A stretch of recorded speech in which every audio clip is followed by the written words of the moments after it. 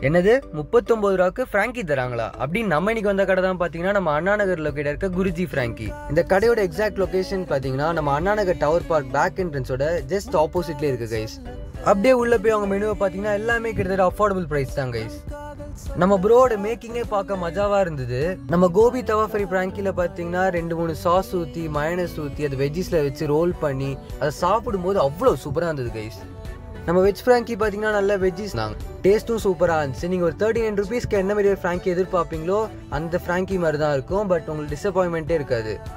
அவங்க பன்னீர் மோமோஸ் பார்த்தீங்கன்னா சாப்பிடவே செம்ம அல்டிமேட்டாக இருந்தது. உங்கள் மோமோ கூட கொடுத்த சாஸ் பார்த்தீங்கன்னா ஒரு டொமேட்டோ சாஸோட ரெப்ளிகா மாதிரி இருந்துச்சு. பிகாஸ் ஸ்வீட்டாக இருந்தது. சஜஷன் என்னன்னு பார்த்தீங்கன்னா நீங்கள் அந்த மோமோஸை மைனஸை டிப் பண்ணியே சாப்பிடுங்க. அதுவே சூப்பராக இருக்கும். இந்த கடைக்கு பார்த்தீங்கன்னா நான் ஒரு ஃபைவ் ஸ்டார்ஸ் கொடுப்பாங்க. பிகாஸ் அந்த அண்ணா நம்ம கடையில் தேர்ட்டி நைன் ருபீஸ் தான் ஃப்ராங்கின்னு சொல்லிட்டு நம்மளுக்கு ஒரு ஒன் ருபி பேலன்ஸ் சேஞ்ச் கொடுத்தாரு பாருங்க கைஸ் அங்கே நிற்கிறாரு கைஸ் அவரு.